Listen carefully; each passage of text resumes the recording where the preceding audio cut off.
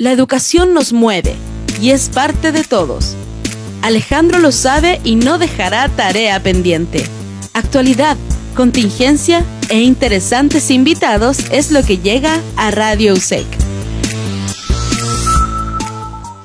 Bien, eh, nuevamente nos encontramos en el programa Tarea Pendiente eh, junto a Juan Pablo Catalán. Eh, iniciamos hoy día un nuevo ciclo de distintas entrevistas y le hemos denominado ciclo de, entrevistas internacionales. ¿Por qué razón? Porque en, en, un trabajo de pauta junto con Juan Pablo apreciábamos que la situación de la pandemia y los temas educativos que están ocurriendo en Chile también ocurren en América Latina y también ocurren en otros continentes. Por lo tanto, eh, Dios mediante, vamos a estar presentando cada 15 días a, una, a, un, profesor, a un docente, eh, independientemente de, su tarea laboral, eh, que, esté, que esté vinculado al, ámbito de, educativo para que nos, nos cuente cómo, cómo, cómo está su país, cómo está ocurriendo en su país el tema de la pandemia, cómo se está desarrollando y poder realizar un conversatorio al respecto. ¿ya? En pantalla ustedes ven en este momento a María Cristina Orozco desde Colombia, ¿ya? que es nuestra tremenda invitada que tenemos el día de hoy. ¿Cómo estás, Cristina? Hola, Alejandro. Eh, un saludo especial para todos los que eh, pueden observar y escuchar este importante programa, me imagino que dirigido a toda la comunidad educativa del pueblo chileno. De verdad que un saludo afectuoso para todos desde Colombia. Efectivamente, mi nombre es María Cristina Orozco Lugo y soy maestra aquí en Colombia y además soy dirigente del, magisterio eh, a nivel departamental. Perfecto. Voy, voy, a, voy a, contar un poquito de, de, María Cristina, ¿ya? Y después empezamos con el conversatorio también Juan Pablo ahí nos, va a estar acompañando con, su, con sus preguntas y con sus reflexiones en, materia educativa.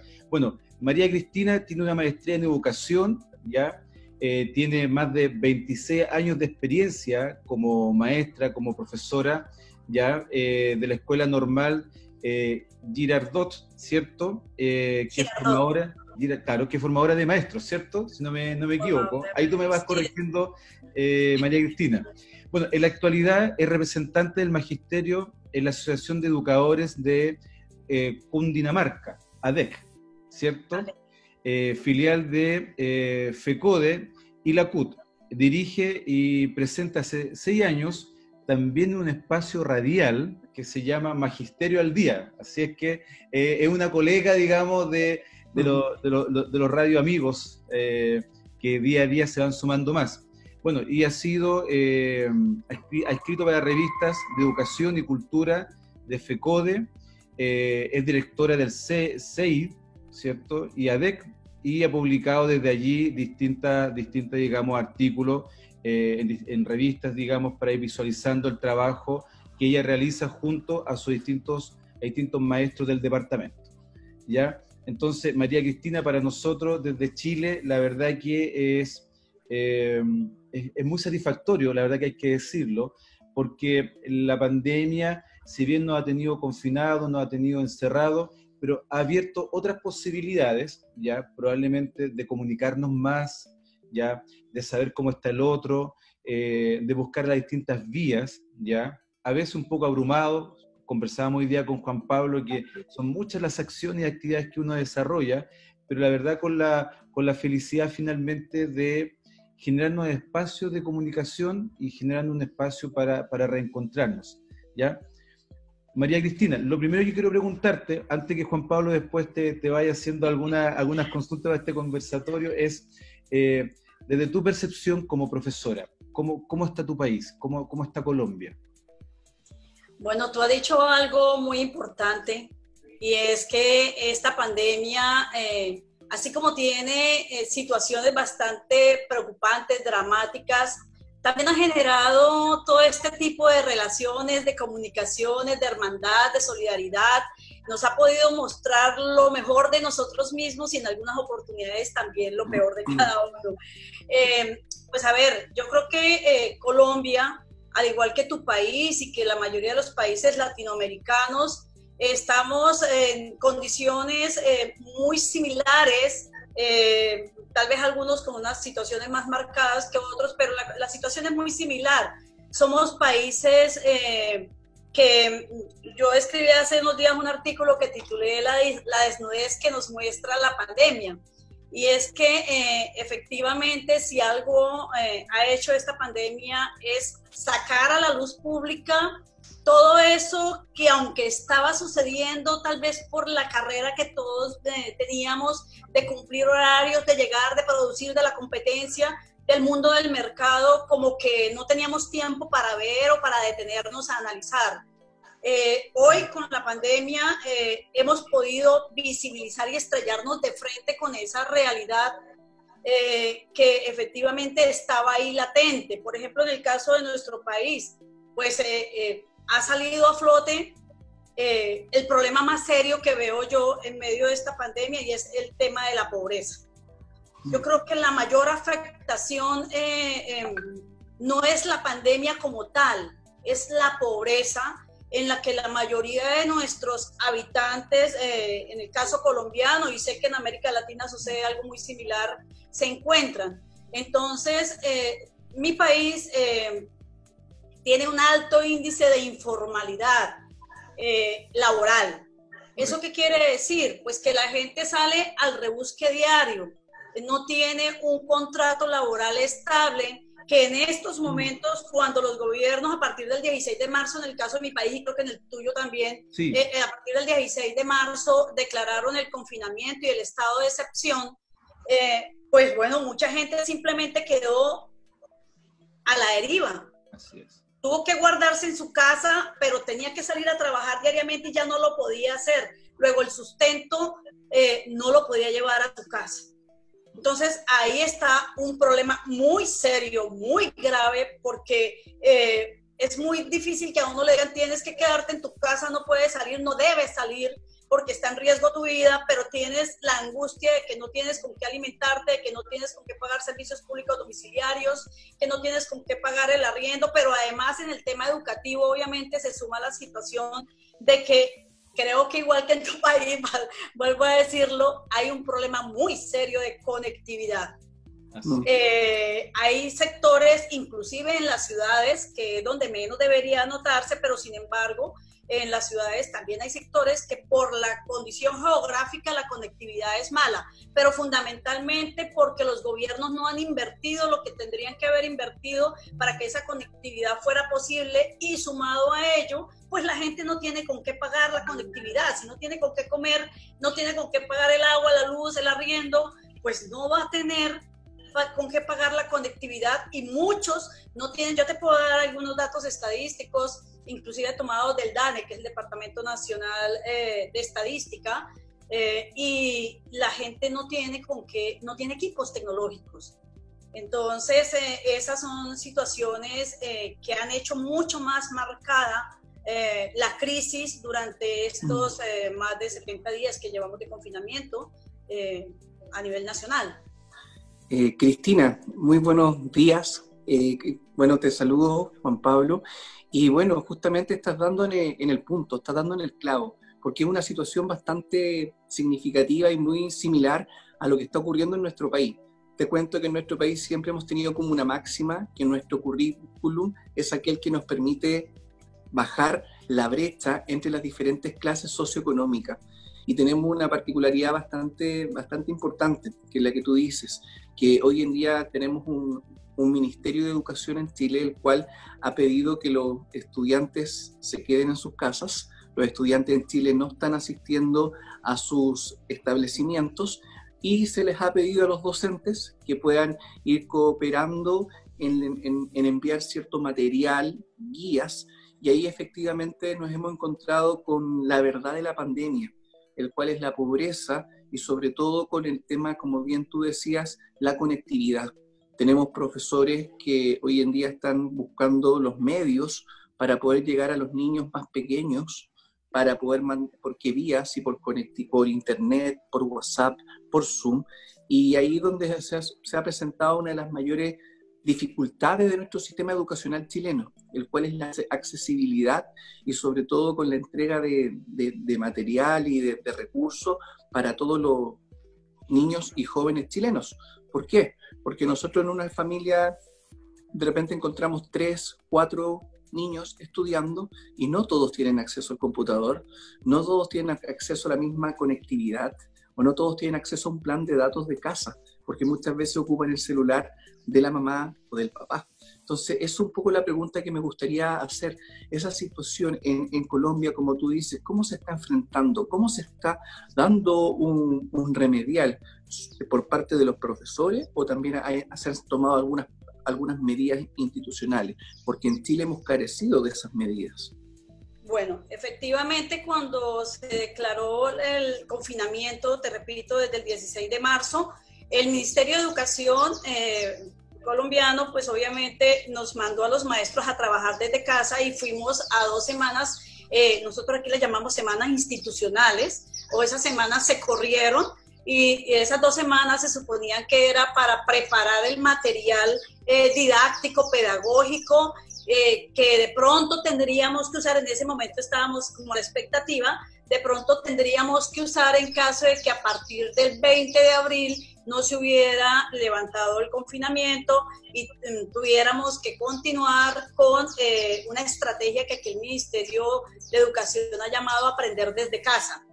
Eh, en ese sentido, pues efectivamente los maestros eh, preparamos desde las instituciones educativas ese material, se hizo el trabajo, luego vinieron tres semanas de vacaciones confinados eh, tres semanas de vacaciones y efectivamente a partir del 20 de abril pues no hubo forma de retornar a las escuelas porque el nivel de contagio, eh, lejos de aplanar la curva, como llaman los expertos, pues cada día va es incrementando el número de contagios, aunque pues a Colombia no es que le haya ido tan mal en ese sentido, realmente las cifras sí siguen creciendo. Eh, mm. En gran medida, esa responsabilidad de lo que llaman virtualidad, eh,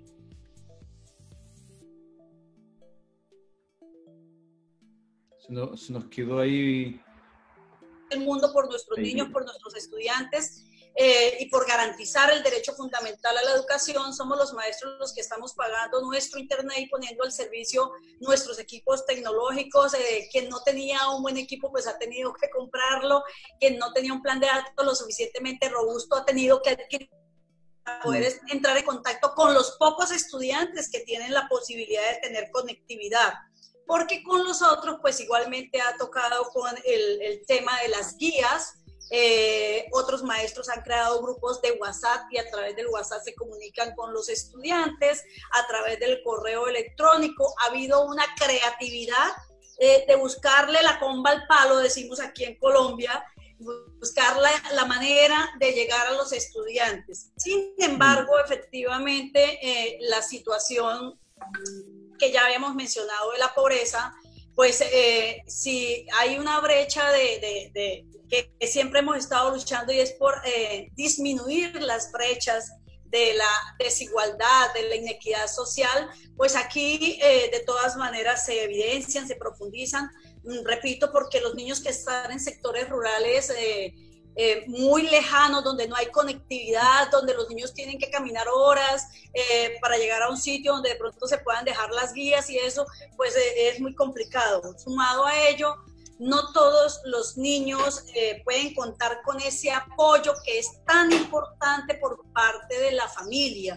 La familia aquí ha mm. entrado a jugar un papel fundamental en el apoyo, pero vuelvo y repito, una familia que está con la angustia existencial de la economía, de, buscar lo fundamental de cada día, pues está en una angustia distinta, se ha incrementado mm. eh, la violencia intrafamiliar, por ejemplo, em, y los niños que tienen la posibilidad de tener unos padres más letrados, más académicos, que de pronto tienen la comida asegurada y tienen por lo menos un computador y conectividad, pues esos niños van a tener obviamente más ventajas sobre aquellos que no tienen mm. esas condiciones. Cristina, ahí tú estás dando justamente el punto y es realmente lo mismo que está ocurriendo en Chile y creo que ha sido una, una de las reflexiones más importantes que nosotros hemos sacado, la cual ha sido la devolución que nos han dado los docentes.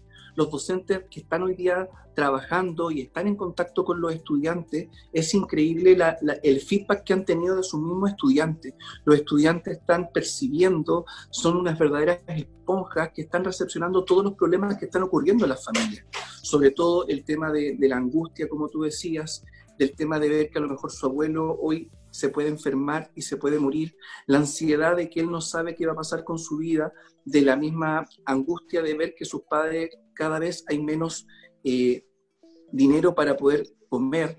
Y eso es algo que nos comentaban los profesores y muchas veces no han, no han dado ese feedback y esa retroalimentación. ¿Cómo actúo yo como profesor frente a eso? ¿Estoy preparado para hacer una contención socioemocional? ¿Estoy preparado realmente para, para contener a mi estudiante cuando esto es lo que él está pasando hoy en el día a día? Y no para ver fracciones, no para ver verbos, no para ver lingüística, no para ver historia. Efectivamente, bueno, para esto nadie estaba preparado.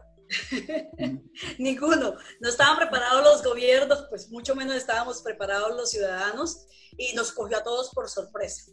¿Cierto? ¿Y, cómo, cómo, ha reaccionado el, el Ministerio de Educación de, de, tu país? Nosotros acá en Chile, eh, bueno, en esta última semana se llevó a cabo, eh, podríamos decirlo así, eh, una flexibilidad curricular. Priorización curricular, que se llamó.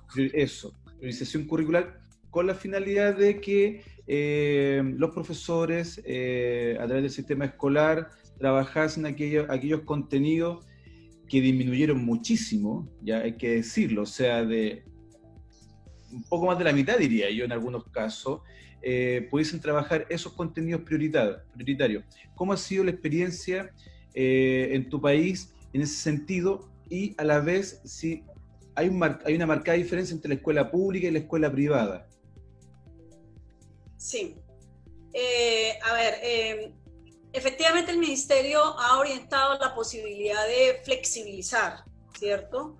Eh, nosotros hemos llamado también dosificar, porque no podemos pretender que haciendo este trabajo, aprendiendo desde casa y trabajando desde casa, estemos en condiciones iguales. Estamos en un estado de anormalidad académica.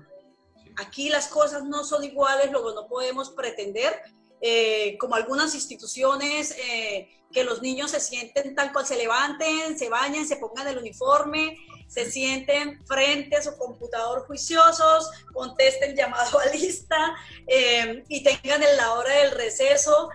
desafortunadamente en algunas instituciones, creo que más privadas que, que oficiales, están viviendo una situación así como muy cuadriculada, ¿no?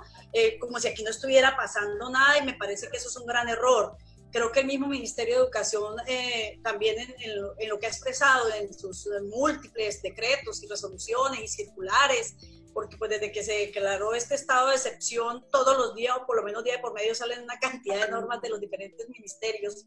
Y obviamente el Ministerio de Educación han salido cualquier cantidad de orientaciones de las secretarías de educación de los entes territoriales, llámese departamentos o municipios certificados, pues han salido también cualquier cantidad de orientaciones llamando a eso. Nosotros acá tenemos nuestra Ley General de Educación, la Ley 115 de 1994, que habla claramente de la autonomía escolar y la construcción de los proyectos educativos institucionales eh, en cada institución educativa, valga la redundancia, eh, por parte de las comunidades educativas con participación democrática a través de los gobiernos escolares, eh, donde participan padres de familia, estudiantes, administrativos, directivos y docentes, e inclusive exalumnos y sector productivo.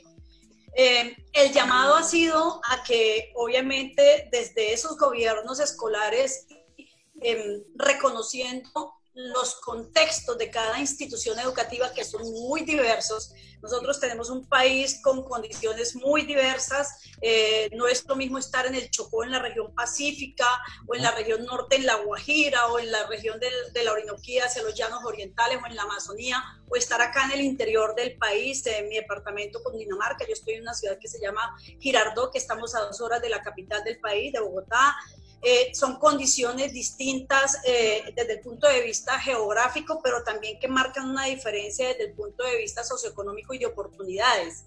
Entonces, eh, en ese sentido, el llamado ha sido a eso. Sin embargo, tenemos, pues desde la Asociación de Educadores de Cundinamarca y FECOE, eh, obviamente reclamos de compañeros maestros frente a las exigencias de una cantidad de formatos y, cuadros de evidencias que llaman y soportes y amar carpetas y que el maestro esté todos los días llamando a lista y verificando cuántos llegaron, cuántos no llegaron, cuántos responden, cuántos cuántos no responden y eso genera, ha generado estrés laboral, eh, enfermedades psicosociales, no solamente en los maestros, sino también en las familias, en los estudiantes, que algunos se quejan del exceso de tareas, que también algunas eh, instituciones educativas em, pues han venido dejando. Entonces, frente a eso, eh, ha venido como, como digamos, haciendo un trabajo de concientización y de Ah, miremos que las condiciones son distintas.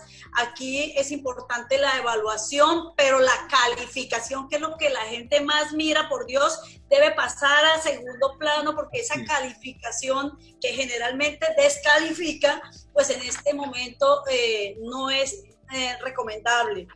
Y, frente a los contenidos, eh, se ha venido haciendo un llamado a la importancia de enfocar en el por ejemplo, en el desarrollo de la autonomía, del autoaprendizaje, del autocuidado, del cuidado del otro, de, que los niños escriban esta historia que están viviendo. Eh, otro tipo de conocimientos de pronto que no estaban ahí en el currículo eh, como tal que no hacían parte de las competencias, de los, de los estándares o de los derechos básicos de aprendizaje, pero que son aprendizajes fundamentales para la vida, como la formación, por ejemplo, del pensamiento crítico, entre otras cosas.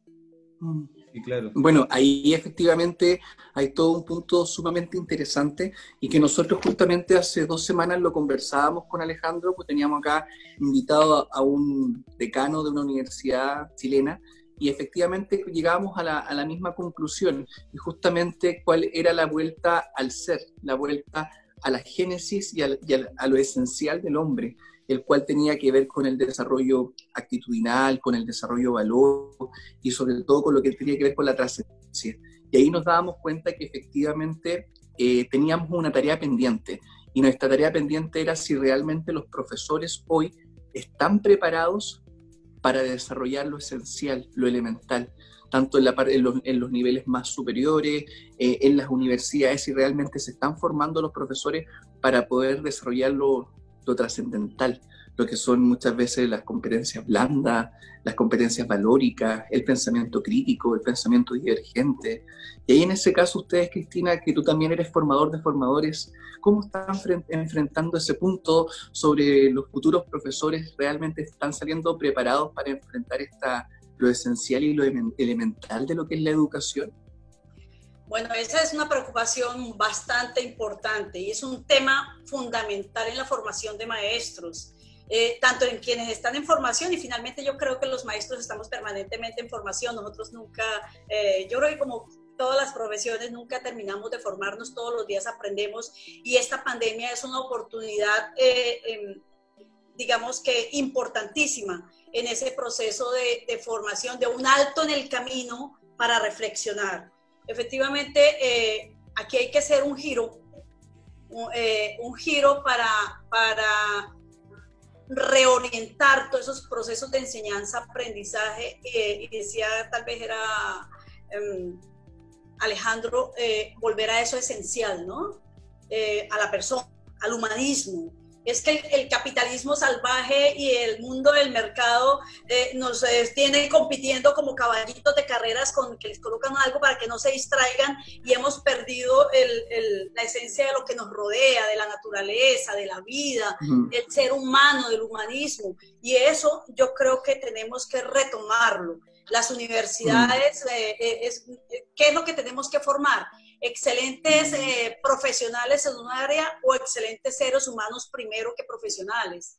Eh, un ser humano que valore la vida, que respete al otro, que respete el medio ambiente, que sea capaz de reconocerse y de reconocer al otro en medio de las diferencias, que sea democrático, que sea participativo. Eh, todos esos elementos son fundamentales. Urge formar un nuevo ciudadano que enfrente las necesidades del siglo XXI, siglo en el cual nos encontramos y que todos llaman el siglo del conocimiento, el siglo de las comunicaciones, el siglo de la tecnología, pero aquí nos ha mostrado, ojo, eh, en el discurso todo eso, pero bueno, y como seres humanos, ¿qué, ¿quiénes somos? ¿En qué estamos pensando? ¿A qué le estamos dando respuesta?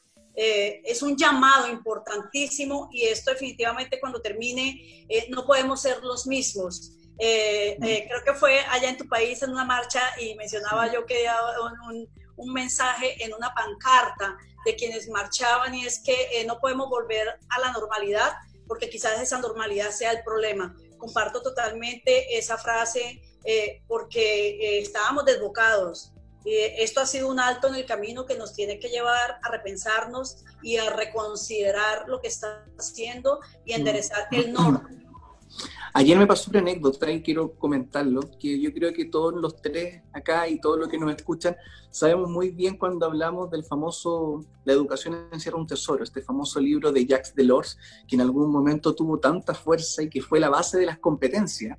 Y ahí quiero llegar un poco cuando decían el aprender a, el aprender, a aprender, el aprender a ser y el aprender a ser. Los famosos tres aprendizajes.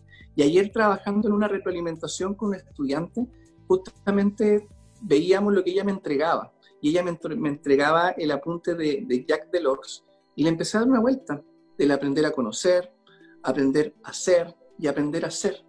Pero hay que seguir leyendo un poco más abajo y cuando dice más abajo y cuando habla lo interesante de que es una competencia, dicen que estos tres aprender se conjugan y generan un nuevo aprendizaje, que es el aprender a convivir. Y que es cierto traerlo a este tiempo, de que muchas veces nosotros giramos con un enfoque tan cuadrado frente al aprender a aprender, conocer, aprender a hacer, aprender a hacer, pero se nos olvida que todos esos aprendizajes conjugan para aprender a convivir. Y que el aprender a convivir, justamente yo creo que la gran tarea pendiente o la gran deuda que nos ha mostrado esta pandemia, ¿cuál es? Que no hemos aprendido a convivir. Sí, claro. Y yo decía que tema más antiguo, el tema más El individualismo nos está, nos llevó yo creo que a esta crisis. Mire, yo, yo comparto ahí también eh, que hay un sentido ético Probablemente el sentido ético ha sido el que hemos, hemos, ido dejando de lado sin querer queriendo, como dice el chavo, ¿cierto? Pero que finalmente nos ha afectado muchísimo. Y a la vez eh, quiero retomar algo que, que Cristina nos, nos, decía. Hace muy poco leía un autor chileno que se llama Christian Belley, ¿ya? que es un, un, sociólogo que se ha dedicado a la investigación y educación.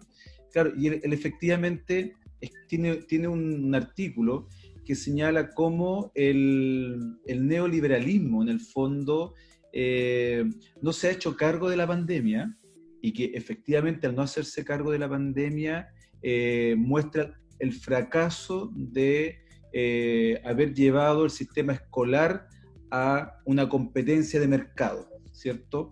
Y, y en eso, en el fondo, ¿qué nos quiere, qué nos quiere decir? Que hoy día hay que relevar a los docentes, hay que relevar a los estudiantes, a las familias.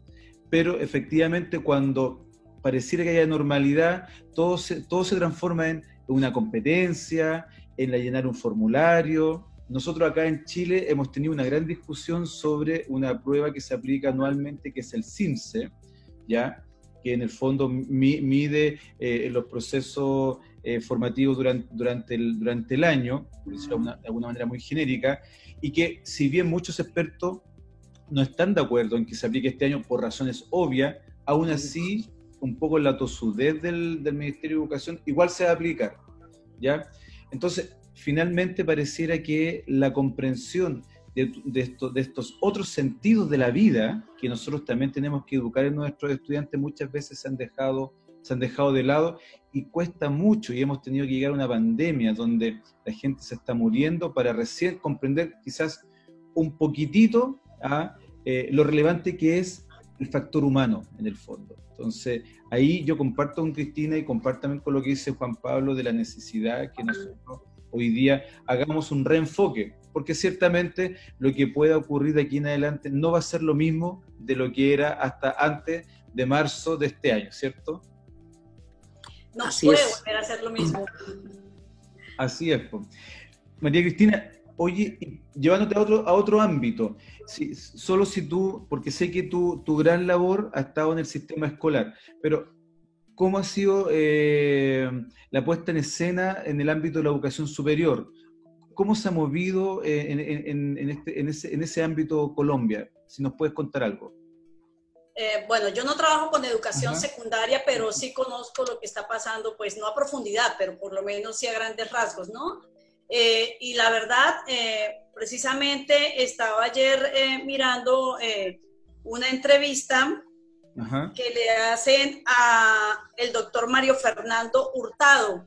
Él es un consultor, columnista y docente, y esa entrevista se le hicieron en Caracol Televisión justamente para hablar de las preocupaciones que tiene la educación superior. La verdad es que no dista mucho lo que está viviendo la educación superior de lo que está viviendo la educación básica y la educación media. Tampoco la educación superior estaba eh, preparada para hablar de virtualidad.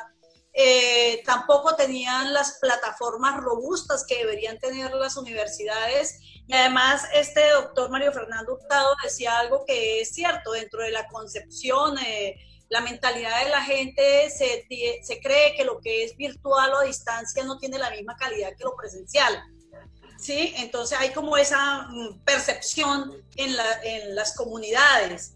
Y el, eh, las, las, universidades en este momento, pues, además que hay carreras eh, que necesariamente tienen que ser presenciales, por ejemplo, la odontología, la medicina, bueno, no sé qué tantas otras, eh, que, que el área de la salud. Exacto, que requieren de laboratorios y de prácticas in situ. Entonces, eh, eh, frente a eso, las universidades en este momento están viviendo una situación, eh, el, mismo noticiero lo titulaba La mala hora de las universidades, están viviendo una situación muy angustiante, porque aquí en Colombia la mayoría de los estudiantes son de calendario A, que son los que terminan en noviembre y generalmente se están matriculando para las universidades pues en enero, febrero para iniciar su primer semestre.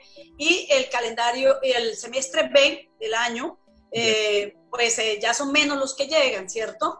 Y en este momento pues ha habido mucha deserción, él hablaba de, de, de una reducción de la matrícula en un 70%. Eso es altísimo. Una reducción de la matrícula en un 70%, pero además también deserción.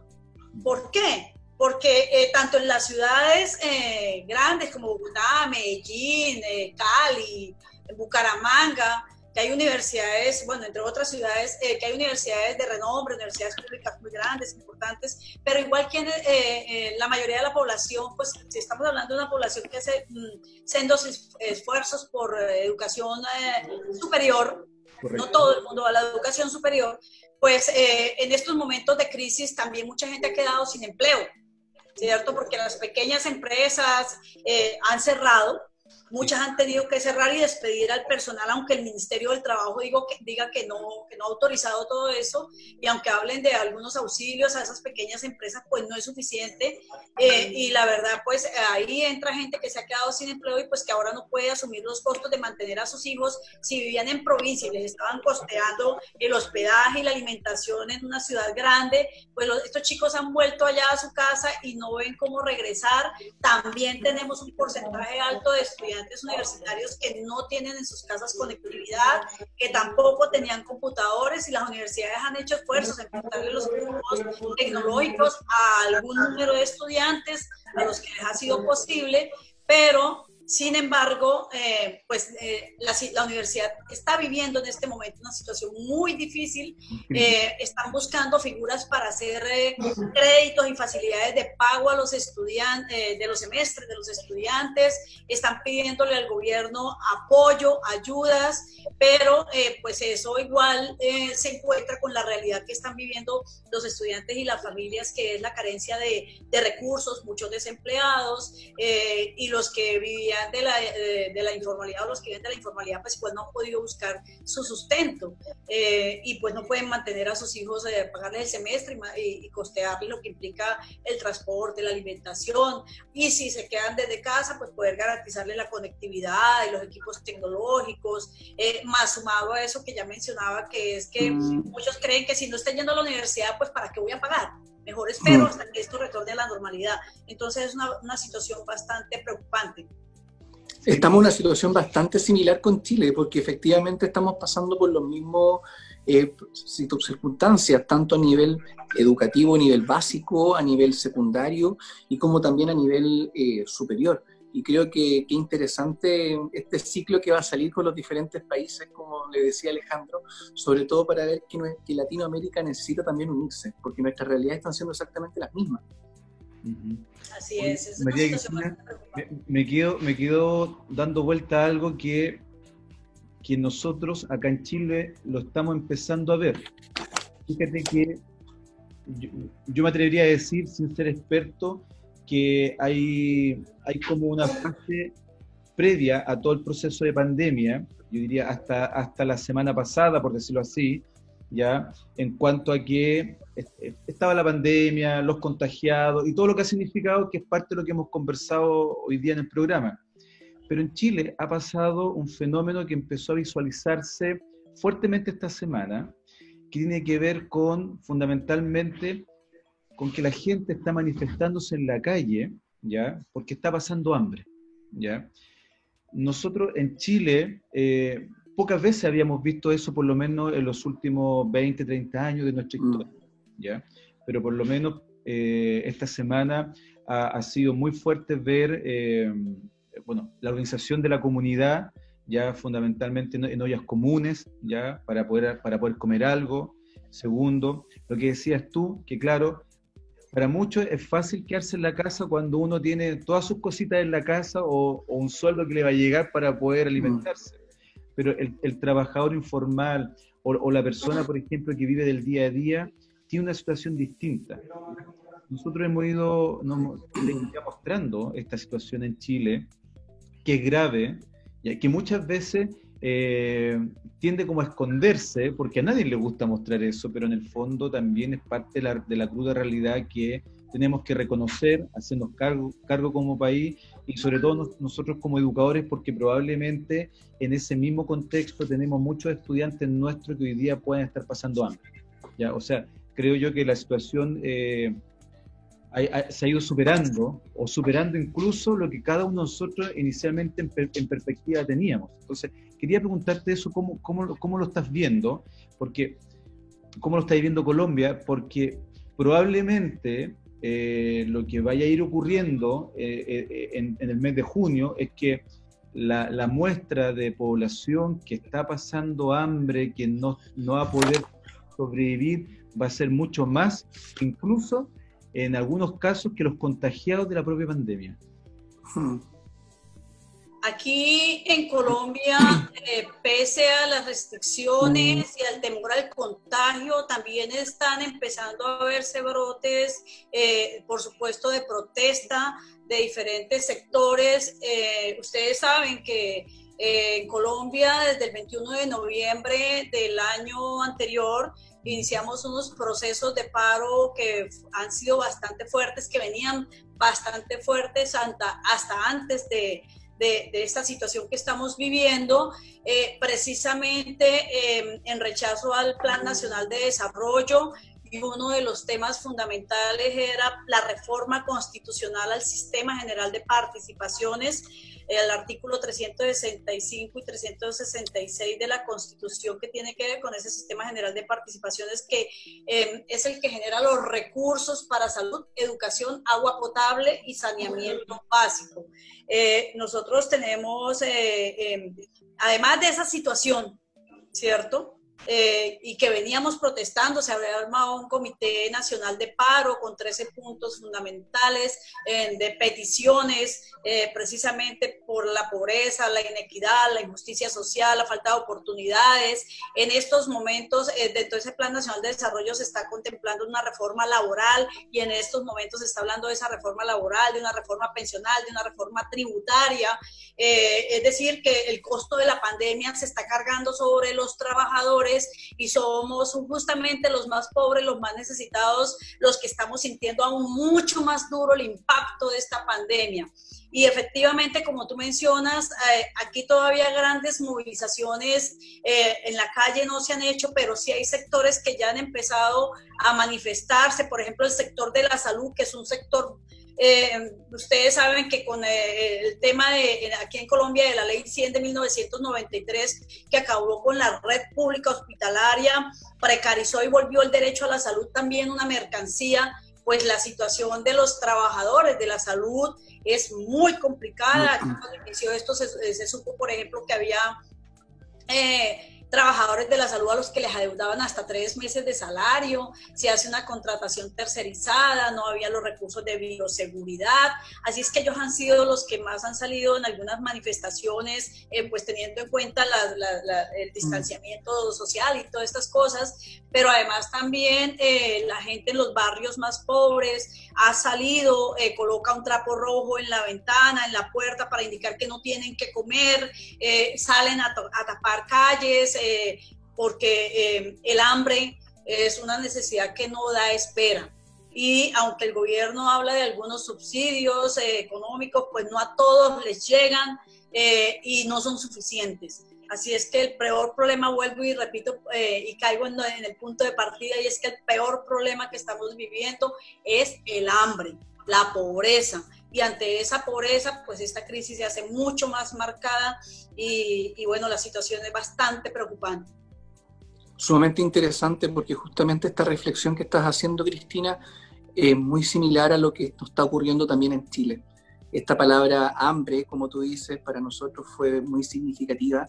Incluso en Chile, en uno de los principales edificios de Santiago, se proyectó y dio puntapié inicial a justamente a la seguidilla de hechos que están pasando en varias poblaciones de Santiago, sobre todo exigiendo el derecho a tener una buena alimentación. Eh, en ese sentido, tenemos un, un, gobierno, como tú bien decías, que ha entregado cajas y a lo mejor como política pública, como discurso, se ha dicho muy bien que se van a entregar cajas, pero sin embargo en la realidad aún hay familias que no han recibido el apoyo, no han recibido la ayuda y, es realmente doloroso para uno como ciudadano ver a, sus compatriotas eh, luchando con esta pandemia contra el hambre, contra algo que, creíamos que estábamos en una sociedad avanzada, moderna, y que ya ese era un tema que había quedado atrás. Sin embargo, todavía está muy enraizado en nuestras clases más humildes y sobre todo en lo que es un pilar fundamental, una de las necesidades básicas, que es tener derecho a una alimentación y a una salud. Mira, ahí también uno logra observar lo, sensible y débil que son las estructuras sociales. ¿ya? Mm. Eh, ayer en un, escuchaba yo en, una, en unos diálogos que la universidad, la Universidad SEC desarrolla, ¿ya? Eh, eh, a través de la Facultad de Ciencias Jurídicas y Sociales, habían dos alcaldes, ¿ya? Eh, de distintos, digamos, frentes, eh, contando un poco cómo lo estaban viviendo en cada una de sus comunas, ¿ya? Y, un alcalde de una comuna acá en Chile que es de bajos recursos, que es la comuna de Renca, decía algo que me llama mucho la atención y que es muy poderoso y, y, nos hace ver lo, lo sensible y débiles que son nuestras estructuras sociales. Porque él decía lo siguiente, hasta el día de ayer, una familia que nosotros le llamamos, o mal llamada de clase media, que, tanto, que los dos estaban trabajando, habían sido eh, despedidos, desvinculados de sus trabajos. Bueno, ¿qué significaba eso? Que de un, día, de un día para otro, de ser de clase media, se encontraba esta misma familia sin recursos, eh, sin, digamos, alimento y eran parte de la, de la, fila de personas que estaba fuera de la municipalidad pidiendo una caja de ayuda para poder alimentarse.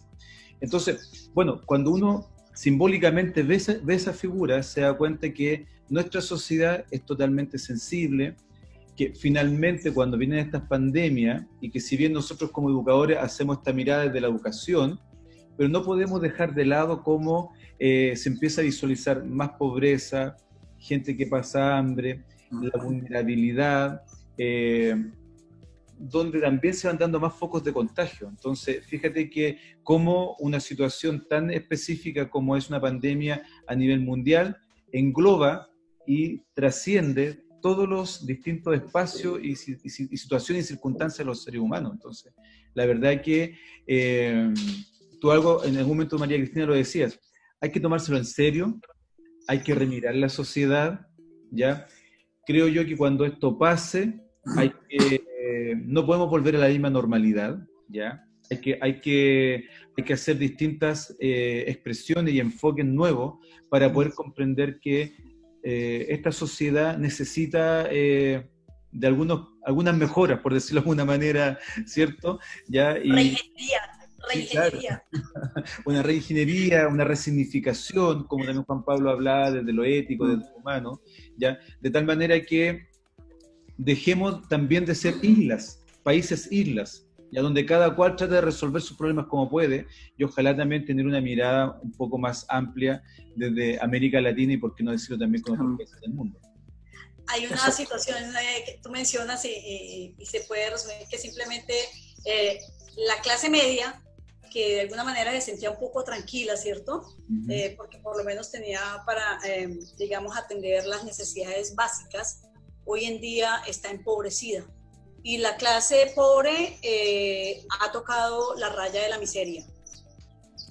Eh, es, es, algo muy tenaz eh, y es propio del modelo, es propio del modelo económico, que hay un 1% en el planeta que es dueño de todo y el resto de la población no tiene absolutamente nada y esto se ha visibilizado. Por eso te decía el, el, el artículo que, que, yo escribí que titulé La desnudez que nos muestra la pandemia, lo arranco hablando eh, de un cuento que yo creo que ustedes también lo conocen y lo han leído y lo han disfrutado, que es El traje nuevo del emperador de Hans Christian Andersen.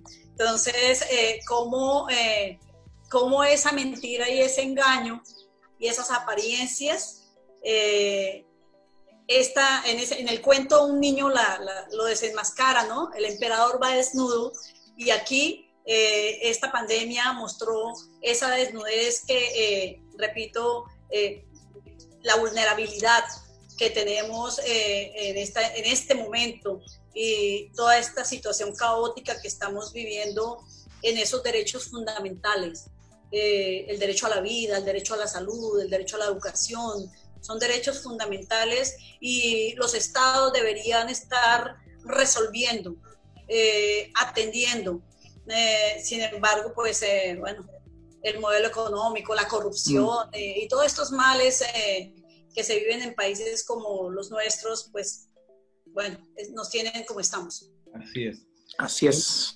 María Cristina, la verdad que uno en estos conversatorios se queda con muchas reflexiones. ¿ah? No sé si te pasa, te debe pasar también Juan Pablo, que uno eh, se queda con muchas ideas, eh, con hartas ganas de, poder escribir también, con hartas ganas de, en el fondo, de poder transmitir estos dolores muchas veces de, nuestros pueblos, ¿cierto?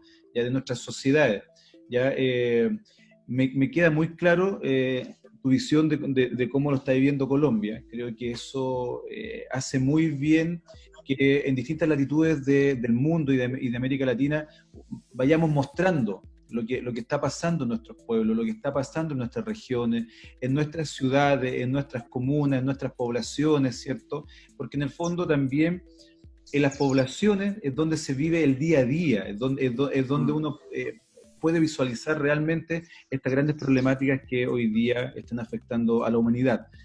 Nos queda poquito tiempo de programa ya, eh, María Cristina. Tampoco queremos abusar de tu tiempo que, nos has regalado, que ha sido una joya eh, el día de hoy. Así que te, doy un, par de minutos más si nos quieres contar algo, si quieres transmitir algo también por, por, el programa, de tal manera que después cuando eh, los distintos radioescuchas eh, puedan ya revisar esta programación, puedan, digamos, quedarse con algún, alguna opinión, digamos, al respecto. Bueno, yo creo que como maestros eh, tenemos una responsabilidad social, ¿no? Eh, y es generar esta conciencia y aprovechar mm. estos espacios, estos espacios para que eso que la gente está viviendo, eh, cuando lo escuchan y se hace el análisis, como que genera esa conciencia, una conciencia de clase también, ¿no? Eh, entonces, esos espacios son fundamentales para eso, para generar conciencia. Y es importantísimo lo que tú dices. Mira que eh, eh, conocer lo que está pasando en Chile, conocer lo que está pasando en Colombia, conocer lo que está pasando en Argentina, y ojalá pudiéramos conectarnos con maestros, colegas de cada uno de estos países latinoamericanos para que em, digamos, profundicemos y detallemos esa situación como la estamos viviendo eh, y podamos también generar propuestas y alternativas de solución, porque hacia allá tenemos que ir, ¿no? Eh, eh, a generar propuestas educativas, propuestas sociales, propuestas políticas, ¿por qué no que generen esa transformación que se requiere? Se requiere de verdad una nueva forma de ver el mundo, una nueva forma de vernos, una nueva forma de actuar. Eh, particularmente voy a contarlo. Estamos organizando y el 24 de, junio vamos a hacer un panel. Eh, eh, estoy haciendo cada 15 días unos conversatorios, unos paneles a las 6 de la tarde a través de Zoom y se transmiten a través de mi canal de YouTube Magisterio al Día. Y el 24 de junio estás invitado eh, eh, Alejandro, y si Juan Pablo quiere, pues también. Bienvenido. Y está, invitado nuestro compañero Daniel, Daniel de Argentina, eh, y bueno, alguien de Colombia para que entre los tres hablemos de cómo está viviendo, por lo menos esta, estos tres países, esta situación, ¿no? Y también qué podemos proponer, cómo podemos llamar a la unidad y a, buscar alternativas de solución. Yo creo que eso es importante y es una responsabilidad que tenemos como, como académicos, como maestros, como integrantes de una sociedad eh, que requiere transformaciones indudablemente. Sí, bueno, qué interesante la reflexión que nos hace. Finalmente, quiero también agradecerte por ese entusiasmo y esas ganas de que tenemos todos los docentes, que yo creo que nunca bajar los brazos y seguir en, eh, en pie de manera fiel, luchando nuestros ideales, que efectivamente son poder cambiar el mundo para un mundo mejor y realmente creer en estas nuevas sociedades que van a ser mucho más humanas, con una vuelta a lo esencial, con una vuelta a la génesis, que, que es ser mejores ciudadanos, aprender a convivir y que efectivamente se vuelva esa nuestra razón de ser, nuestra razón de lucha y efectivamente para lograr eh, superar esta pandemia, que lo único que ha demostrado que tan simplemente somos sumamente vulnerables, somos sumamente débiles y son, somos sumamente frágiles. Y eso implica que realmente necesitamos eh, agentes sociales transformadores. Y qué interesante que esa agente transformacional somos nosotros los profesores y que tenemos esa posibilidad de, de convencer, de transformar, de emancipar a nuestros jóvenes. Eso quería felicitarte. Muchísimas gracias, con muchísimo gusto. Y yo no sé si haya tiempo para terminar con algo de un escritor colombiano. Por supuesto que hay tiempo. Bueno, que lo cito también en, mi artículo, se llama William Ospina, no sé si lo habrán leído. Es, un excelente, es un poeta de nuestro departamento del Tolima y un excelente escritor, columnista de El Espectador. Y bueno, eh, tengo una cita ahí que dice, no recuerdo otro momento en que la naturaleza nos haya mostrado de un modo tan abrumador su importancia frente a las vanidades y las arrogancias de la sociedad industrial. Está claro que la naturaleza cuando decide hablar no lo hace con advertencias tímidas, sino con hechos contundentes. Wow. Qué interesante. Bien. ¿Qué, te puedo decir? Yo creo que efectivamente, eh, el llamado a, a, a, conectarnos y a comprender más nuestra propia naturaleza. ¿ah? Eh, María Cristina, un fuerte abrazo, la verdad es que súper agradecido de, de, todas tus, de todos tus comentarios, la verdad es que a uno lo hacen reflexionar mucho, creo que es muy necesario la que estamos haciendo y que estamos compartiendo contigo de, visualizar cuáles son las problemáticas de, nuestros países, ¿ya? Siempre en el afán, diría yo, con, de dos cosas que tú mencionaste muy bien. Uno, de la unidad, de la unidad a nivel de país y a, nivel de una mirada más macro, a nivel de América Latina. Y segundo, también para ir reflexionando en torno desde nuestros enfoques cómo podemos colaborar en mejorar todas las situaciones posibles, digamos. Yo creo que hoy día eh, todas las opiniones son necesarias, ¿ya? Cuando significan contribuir y fortalecer eh, un mejor país, un, mejor, yo, digo, yo siempre digo, una mejor América en el fondo, ¿ya? Porque tenemos raíces similares, tenemos intereses similares y creo que eso no lo podemos dejar de lado. Así que... Otro mundo es posible. Otro mundo es posible. Nos despedimos, Así es. Pablo, te mandamos un Muy bien. cariñoso y afectuoso abrazo, ya eh, que te siga resultando todo muy bien. Nos comprometemos a estar en el panel que nos estás invitando, así es que cuenta con nosotros para ese panel y cuando quieras. Gracias, muy amables. De verdad que fue un placer poder compartir con ustedes eh, estas experiencias. Mm. Chao, chao. Muy bien. Chao, que estén muy bien. Hasta luego. Saludos al pueblo chileno. Saludos. También para el pueblo colombiano. Un abrazo. Gracias. Gracias.